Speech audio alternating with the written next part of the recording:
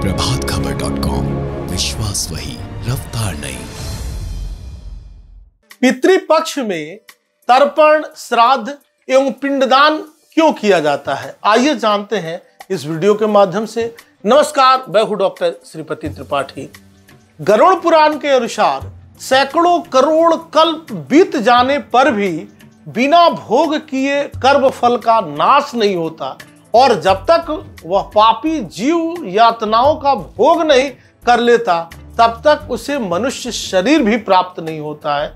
इसीलिए पुत्र को चाहिए कि वह दस दिनों तक प्रतिदिन पिंडदान करें। श्री गरुड़ पुराण में लिखा है प्रत्यहम ते विभाजनते चतुर्भागई खगोत्तम। मतलब वे पिंड प्रतिदिन चार भागों में विभक्त होते हैं। उनमें दो भाग तो प्रेत के, देह के, पंचभूतों की पुष्टि के लिए होते हैं। तीसरा भाग यमदूतों को प्राप्त होता है। चौथे भाग से उस जीव को आहार प्राप्त होता है।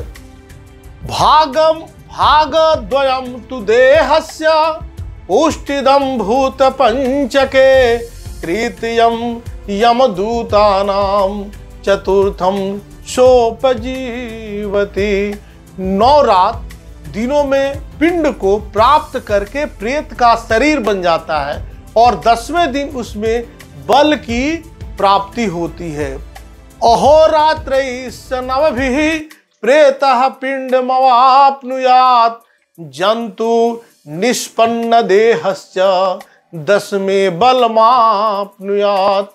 मृत व्यक्ति के देह के जल जाने पर पिंड के द्वारा पुनः एक हाथ लंबा शरीर प्राप्त होता है, जिसके द्वारा वह प्राणी यमलोक के रास्ते में शुभ और अशुभ कर्मों के अपने फल को भोगता है। पहले दिन जो पिंड दिया जाता है, उससे उसका सिर बनता है। दूसरे दिन पिंड देने से ग्रीवा मतलब गर्दन बनता है और स्कंद, कंधे तथा तीसरे पिंड से हृदय बनता है।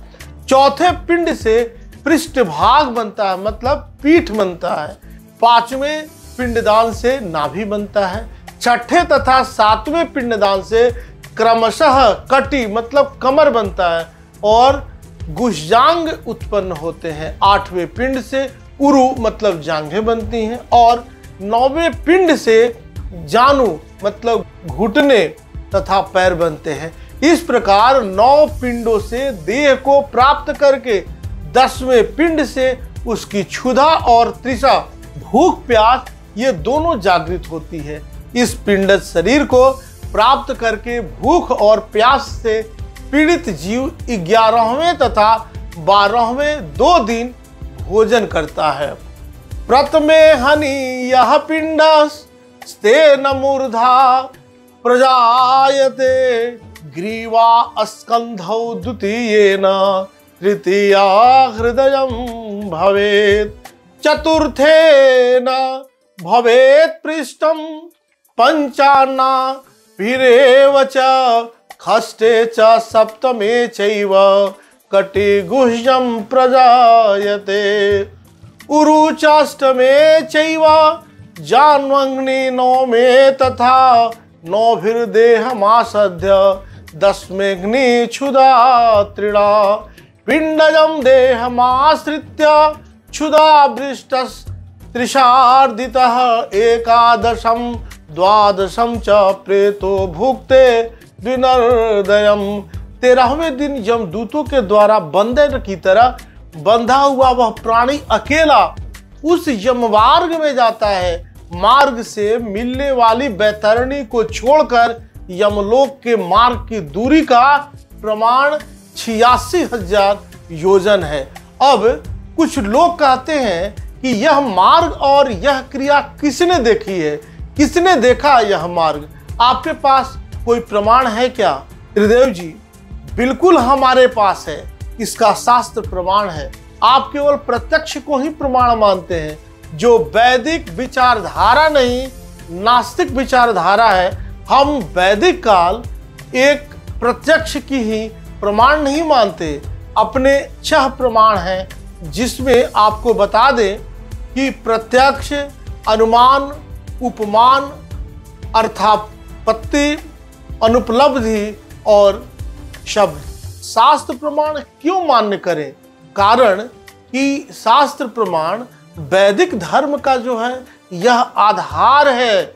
हम नहीं श्रीमद् भागवत अर्थात श्री कृष्ण जो है, इसका प्रमाण पत्र देते हैं। तस्मा छात्र प्रमाणम ते कार्या कार्य व्यवस्थित। हिंदुओं को क्या करना है, क्या नहीं, उसके लिए हमारे यहाँ शास्त्र ही प्रमाण है। जो लोग नासा को प्रमाण मानते हैं, वे ध्यान रखें कि हमारे पूर्वज, हमारे जो संत थे, तुलसीदास जी महाराज जी ने इन्हें, इन्हीं शास्त्रों के अनुसार पृथ्वी से चंद्रमा की दूरी लिख दी, तब तक नासा का नाम भी नहीं था। आप सब यूँ ही बने रहें। मिलते हैं अगले वीडियोस के साथ। तब तक के लिए नमस्कार। प्रभात खबर डॉट कॉम वही रफ्तार नहीं।